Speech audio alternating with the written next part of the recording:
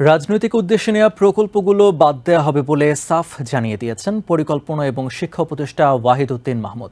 সোমবার সকালে আগারগাঁওয়ের এনইসি ভবনে পরিকল্পনা কমিশনের কর্মকর্তাদের সঙ্গে এক মতবিনিময় সভায় তিনি কথা বলেন।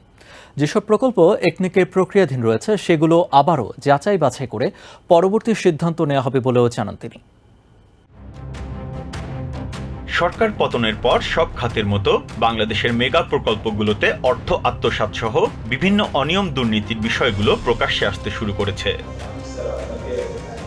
সোমবার এনইসি ভবনে এক মতবিনিময় সভায় অংশ নিয়ে বাংলাদেশে নেয়া প্রকল্পগুলোতে ব্যয় বেশি হয় কেন এমন প্রশ্ন তোলেন অন্তর্বর্তীকালীন সরকারের পরিকল্পনা উপদেষ্টা। সভা শেষে পরিকল্পনা উপদেষ্টা ওয়াহিদ উদ্দিন মাহমুদ এই খাতে নানা বিশৃঙ্খলার কথা তুলে ধরেন। বলেন, রাজনৈতিক স্বার্থেও নেওয়া হয়েছে বিভিন্ন প্রকল্পের উদ্যোগ। চলমান বিভিন্ন প্রকল্পে যাচাই বাছাই করে প্রয়োজনে কিছু ক্ষতি মেনে নিয়েই যে কোনো প্রকল্প বাদ দেওয়ার কথাও জানান পরিকল্পনা উপদেষ্টা। এ সময় মূল্যস্ফীতি, জিডিপি সহ বিভিন্ন বিষয়ে বাংলাদেশ পরিসংখ্যান ব্যুরোতে আসা তথ্য উপাত্তের ত্রুটি আছে উল্লেখ করে এগুলো নিয়ে শিগগিরই কাজ করা হবে বলেও জানান পরিকল্পনা উপদেষ্টা।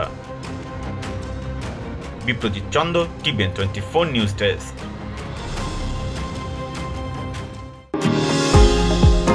New York থেকে সম্প্রচারিত টিভিএন টোয়েন্টি ফোর টেলিভিশন, বিশ্বজুড়ে বাঙালির কণ্ঠস্বর।